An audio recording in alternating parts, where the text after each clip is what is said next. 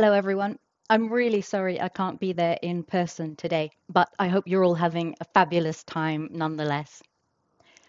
In the UK, we have a phrase that something can be like a bag of spanners.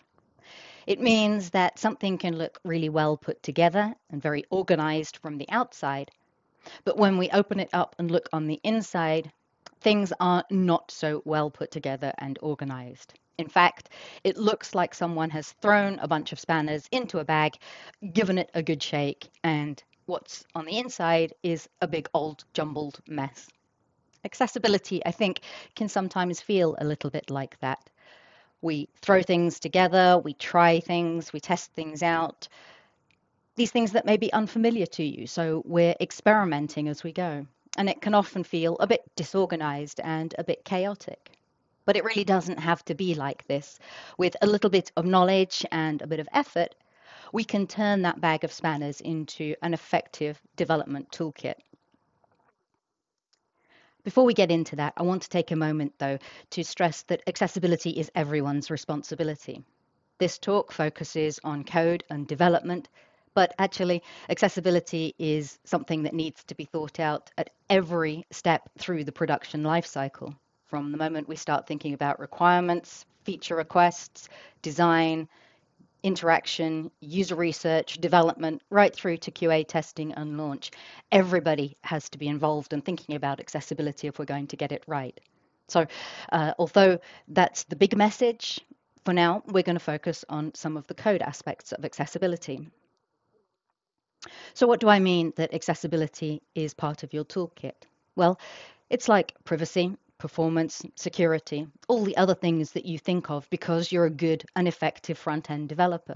Accessibility is just one of the things that you should have in your toolkit so that when you produce products and services, when you script and render code, you know you're doing the best job that you can and creating things that can be used by, well, anybody who wants to use them. So, cause and effect. Who knew you would come to a web development conference and be talking about Newtonian mechanics? Well, here we are. But it's very true. There is a cause and effect. When you make choices about the JavaScript frameworks you use, the libraries, the code you write, the code that gets rendered on screen, those choices have a very direct effect on the accessibility of the interface and from there, the accessibility of the user experience for someone like me who can't see and uses an assistive technology known as a screen reader. So think very carefully about the choices that you make when you're coding, how you're coding, and what the end result will be. To do that, there are some key things that we can take away. The first is an understanding of mechanics well, well, what else do we think about?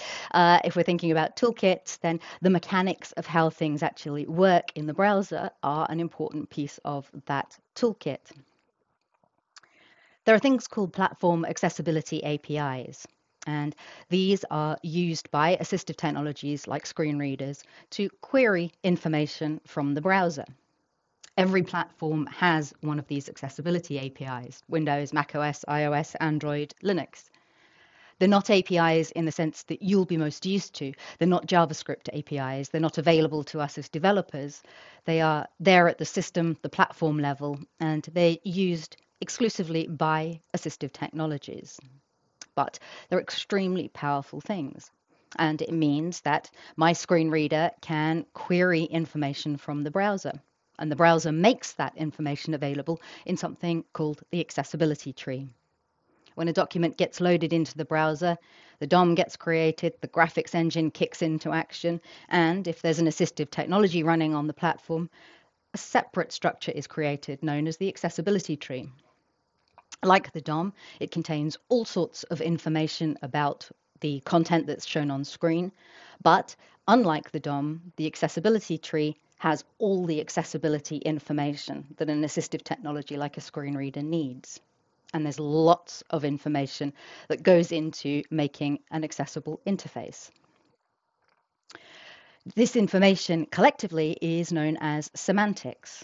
And as we go through the rest of this talk, I hope you'll start to understand how vitally important semantic information is to someone who isn't able to see the screen.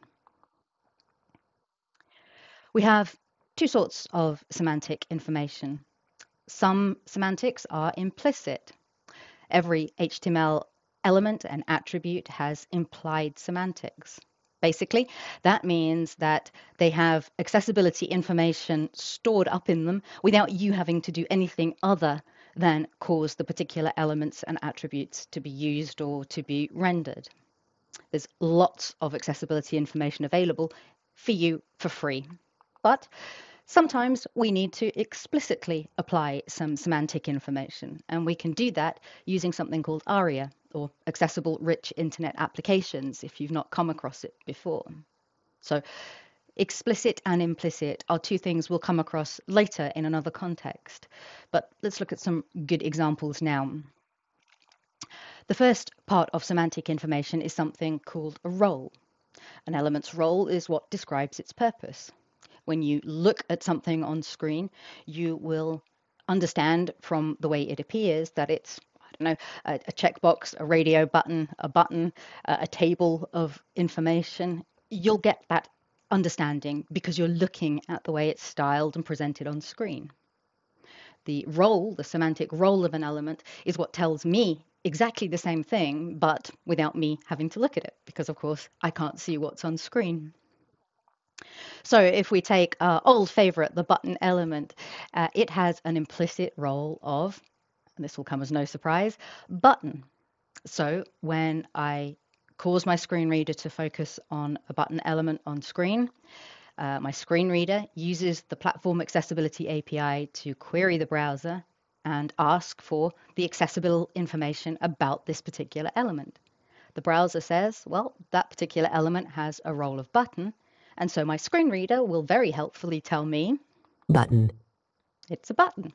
So now I have access to the first piece of information that you have visually by looking at the button on screen. I know what it is, and that tells me what I can do with it. I can activate it, and something presumably will happen. So far, so good. The next piece of semantic information is the name or accessible name. And this is what tells me what the button is for. Uh, so in the case of a button element, the accessible name comes from the text that's inside the button element. Let's say it's a show password button. So again, the same thing happens. Now, when my screen reader queries the browser for information, the information about this element in the accessibility tree says it has a role of button and it has an accessible name of show password. So I get to hear this. Show password button. So far, so good. Two pieces of information coming together to tell me what this thing is and what I can do with it. The last piece of information that's useful is an element's state or its accessible state, the condition that the element happens to be in at the time, if indeed it has a state. Of course, not all elements do all of the time. Now, we have no implicit way in HTML to describe the state of a button. Uh, the button's element's role is implicit in the button element. The accessible name is there because we've put text inside the button. But if you remember, when we want explicit semantics, we need to use ARIA. And we'll use the ARIA pressed attribute to explicitly say the state of this button is either on, pressed, or off, not pressed. Interestingly, this also changes the role. Uh, my screen reader will now get the information back that this is not just a standard button, but it's a toggle button that tells me that this is a button that can be pressed or not pressed, turned on or off. So it sounds like this. Show password toggle button pressed. So we've got three pieces of information now that have come together. The semantics of the role that tells me what it is and what I can do with it, the accessible name that tells me what's going to happen when I do use it, and the state, in this case, that the show password is either pressed or not pressed. So it's building up those layers of information that to you will probably be very apparent visually. Let's take another example. Uh, the nav element. This also has an implicit role, this time of navigation. So my screen reader will tell me Navigation region. Navigation region ends. So I know I've got a region of the page and the purpose of it, the role is navigation. So far, so good. Actually, this is one of a number of elements that came along with HTML5, including the main element, header, and footer, and they describe the key areas of content on a page. Most screen readers have shortcuts that let you jump between these types of element as well. So they're a really convenient way of quickly understanding what the big blocks of content on a page are. It's a, a good technique if you can't take all of the page content in at a glance. So we've got an implicit role of navigation for the nav element, so we know what this part of the page is for. But it's not uncommon on a page to have multiple navigation blocks, so we can explicitly apply an accessible name, this time using the ARIA label attribute. And let's imagine that this particular block of navigation is just for the website as a whole. So we'll just put the word website inside the ARIA label. And now my screen reader gives me the two pieces of information, the role and the accessible name.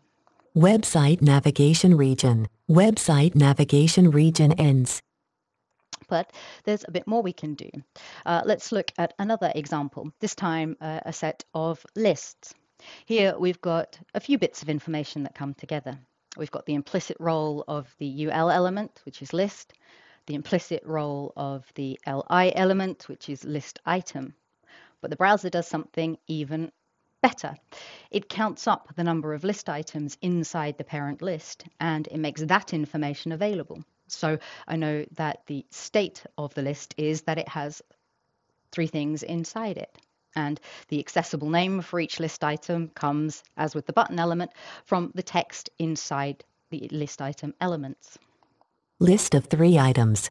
Bullet, role, bullet, name, bullet, state. List ends.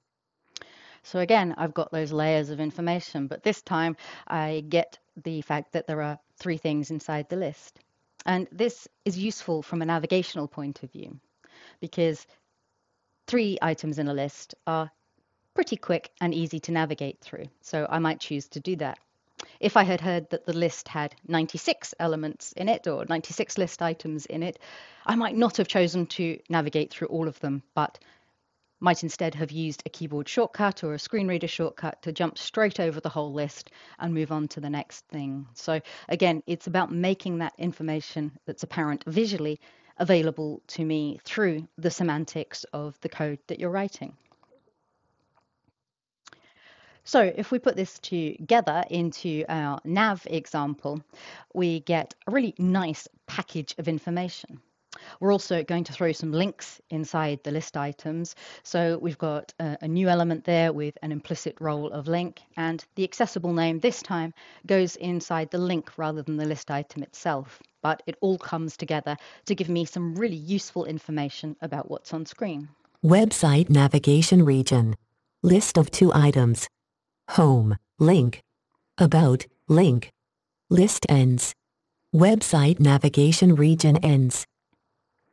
So again, I now know the part of the page I'm in, what it's for, what it contains, how much is inside the navigation block, and I know that these are links, so I can understand that if I use one of them, I will navigate to the page in question. But there's something that's missing from this. It's a very common visual pattern to highlight the page that is currently the one displayed in the browser.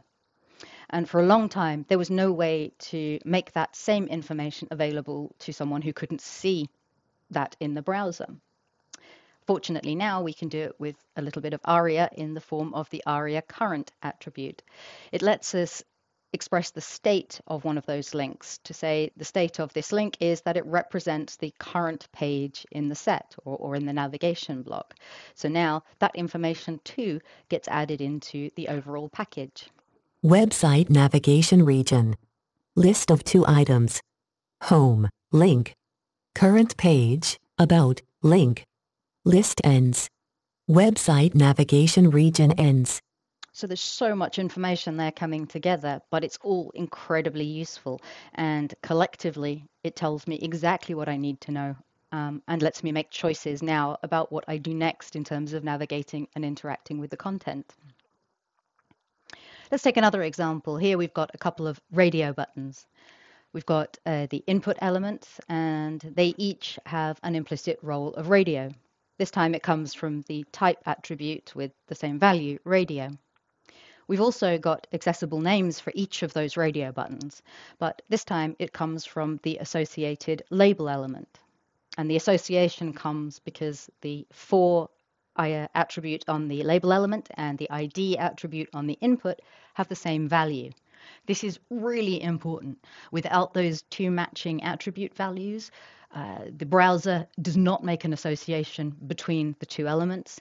And when my screen reader queries the browser for information in the accessible tree, uh, that association is not known. In other words, the radio element will have no accessible name as far as the browser or my screen reader is concerned. But when we have this association, we get two radio buttons with accessible names. So again, we start layering that role and name information. Purple radio button not checked. 1 of 2. Red radio button not checked. 2 of 2. And in fact, we got some state information in there too.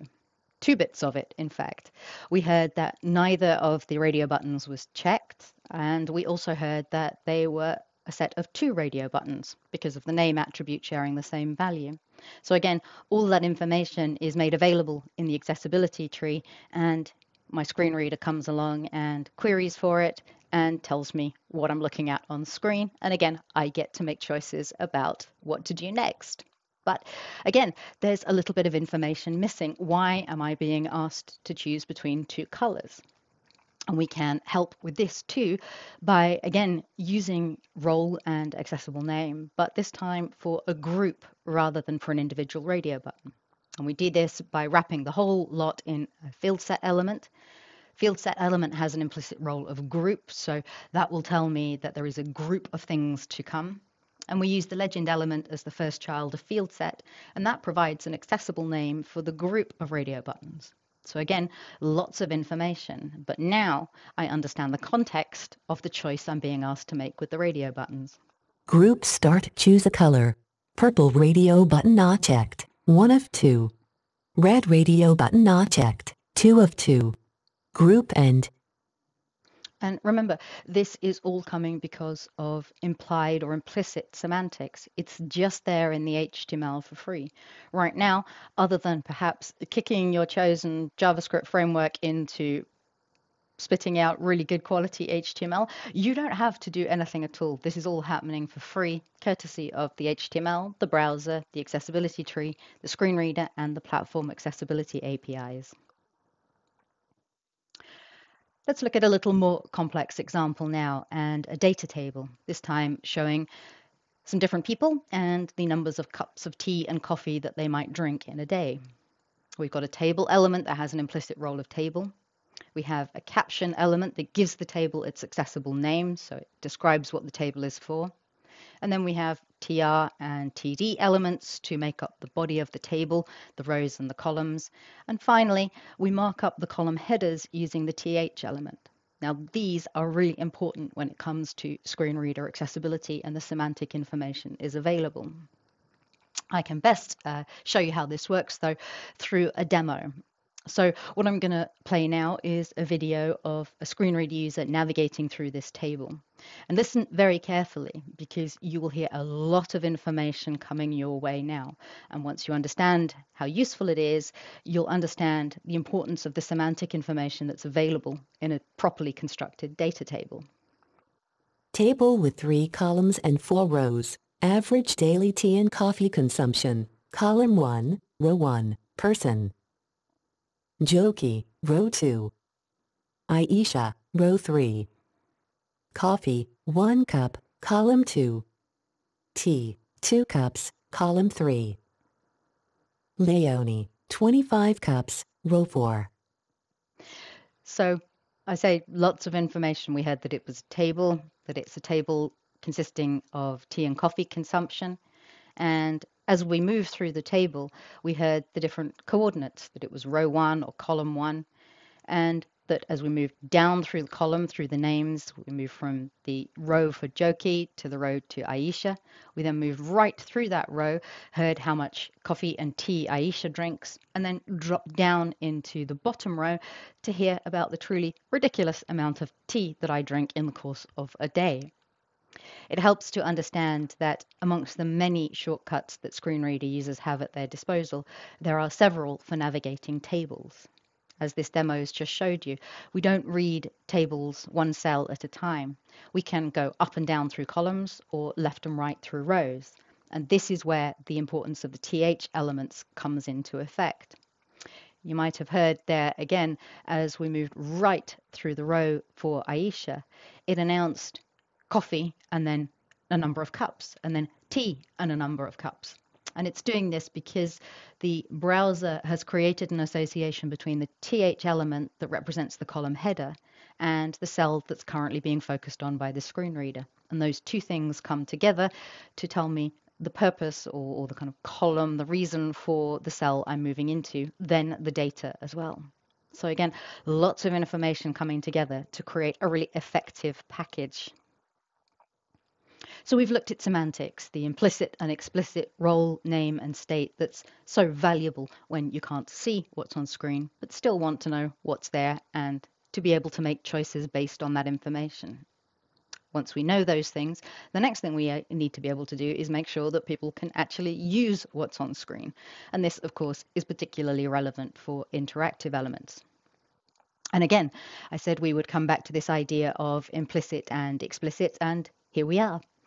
Uh, HTML interactive elements like links and buttons and form fields have implicit keyboard support. In other words, the browser will make sure that all of these things work with a keyboard just because you've used those elements. However, we quite often create custom components or uh, we change the behaviors of other HTML elements. And so there will be times when we need to explicitly provide keyboard support to make sure that everything works as expected. Let's go back to our button for uh, an easy example. When we use a button element, we just need to apply some functionality for the uh, click interaction, and the browser quite happily adds all the keyboard support in for us. So all we have to do from a development point of view is provide the mouse functionality and the browser will automatically make that same functionality happen when someone uses a keyboard to activate the button. And very importantly, two keystrokes can be used. All browsers support button activation using space or enter.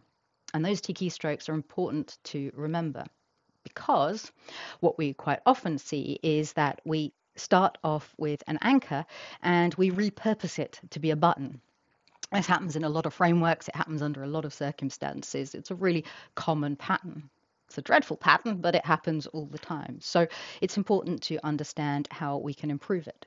Well, the browser makes the link work with the enter key but not a space key. So if you're going to repurpose a link to be a button, this is where you start to need to think about implicitly, sorry, explicitly provide keyboard support. You need to make sure that your fake button also works when the space key is selected. So we'll let the browser handle enter key interaction. And in our script, we just need to listen for the key code 13, the space key, and make sure that the same functionality is executed when that key code or that key press is detected. There's a few more things we need to think about though.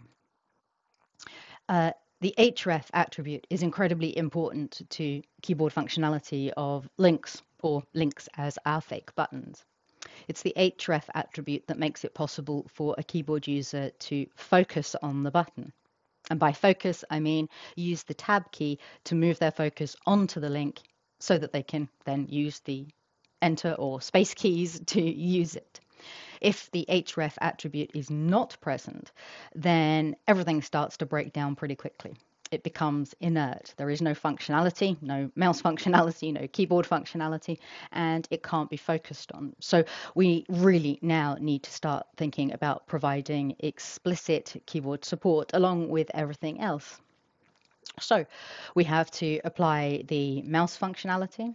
We have to provide the keyboard support, but this time we have to listen for both the enter and space keys, so 13 and 32.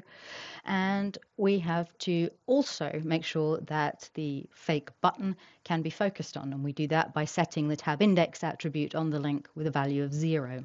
Now, a keyboard user can focus on the link, a mouse user can click on it, and a keyboard user can use either space or enter keys to make the link or fake button actually work in practice. There's one more thing we need to do though in this particular pattern, and that comes back to the semantic information. At the moment, this may visually look like a button. We've scripted it so that it behaves like a button, but a screen reader user will still hear that it's uh, a link. So we need to make sure that a screen reader user is told that it has a button. And to do that, we use the role attribute, explicitly apply the button role to it. And together now we have a passably functional button, albeit one that started out life as a link. So we've now looked at three different things the mechanics, how they work in the browser, the semantics, the information that is made available through the browser to the screen reader, and the interaction, making sure that everything works in practice. So the final thing is to bring it all together into the construction to make sure that we use all of those things to construct really good accessible interfaces. So to do this, let's look at a slightly more complex example we're going to build a, a menu bar. Actually, it's the menu bar from categories of posts on my blog at Tink UK. We're going to start off with some good old fashioned HTML because progressive enhancement is important. So it's just a simple list with some nested list items, another nested child list. And you'll remember that these elements all have implied semantics. The UL element has an implied role of list, the list items have implied roles of list item, and the links inside have implicit roles of link. And finally, the accessible name for each of those links comes from the text inside of it. So we have a good fallback if, for any reason, our scripting fails out, network problems, whatever that may be but let's start enhancing it now into uh, a more complex custom component. And we'll start off with the first semantic information, roles.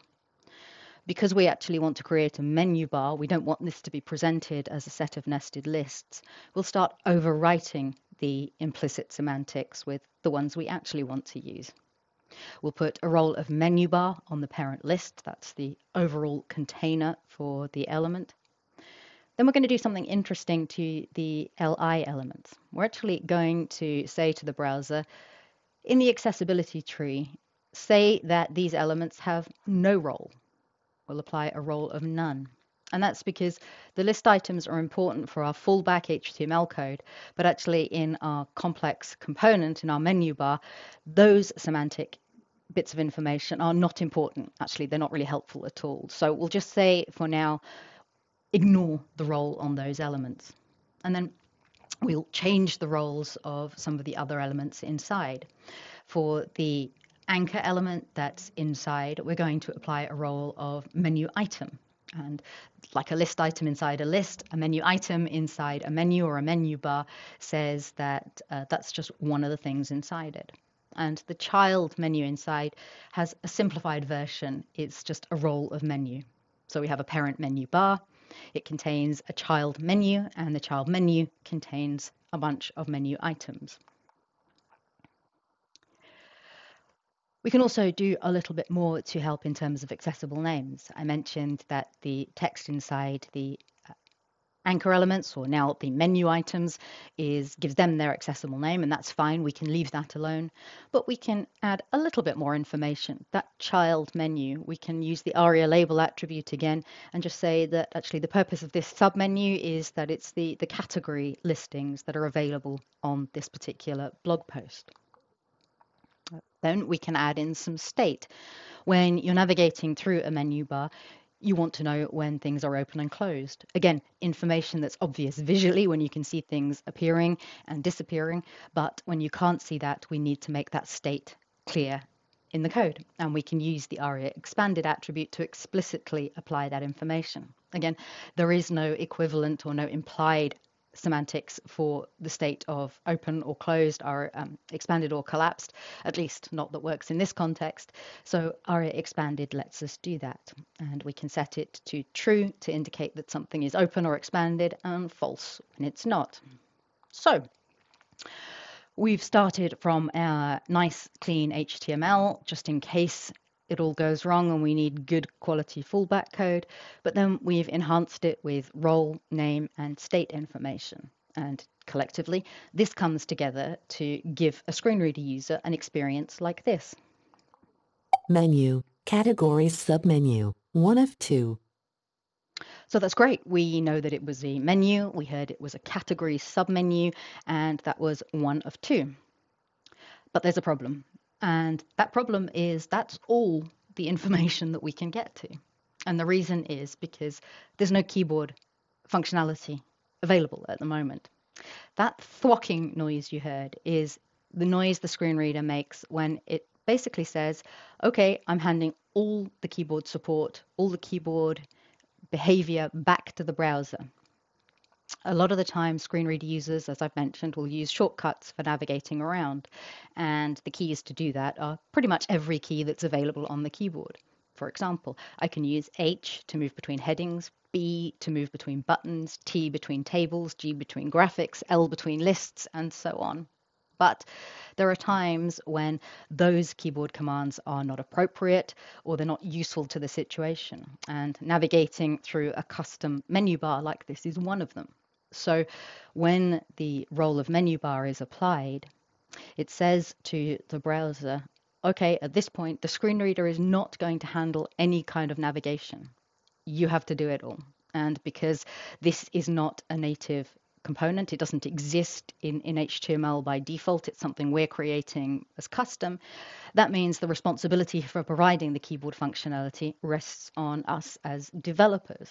So we have to make sure that in our script we have done a whole bunch of stuff to support keyboard interaction.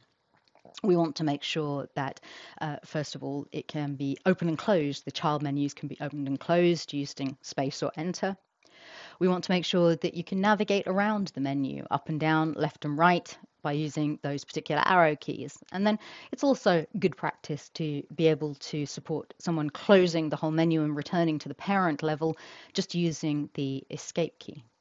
There's actually a lot more to it than this, but you get the idea. We need to make sure that that interaction support is there too.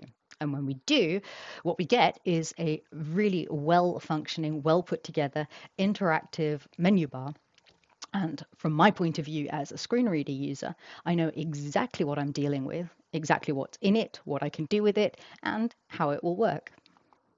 Menu, Categories submenu, 1 of 2. Tags submenu, 2 of 2. Categories submenu, 1 of 2. Submenu expanded, Code Things, 1 of 3. Web Life, 2 of 3. So, isn't that wonderful?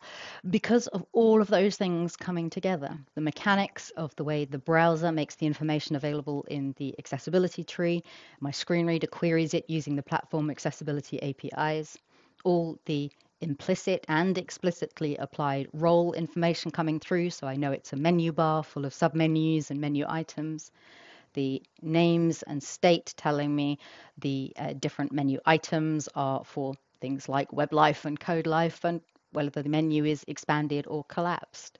It all comes together underwritten by the keyboard functionality that we've provided in the JavaScript to create something that's just so beautifully easy to use and to understand. It's a really great experience. I can't describe to you how lovely it is to see things like that and be able to use them on the web.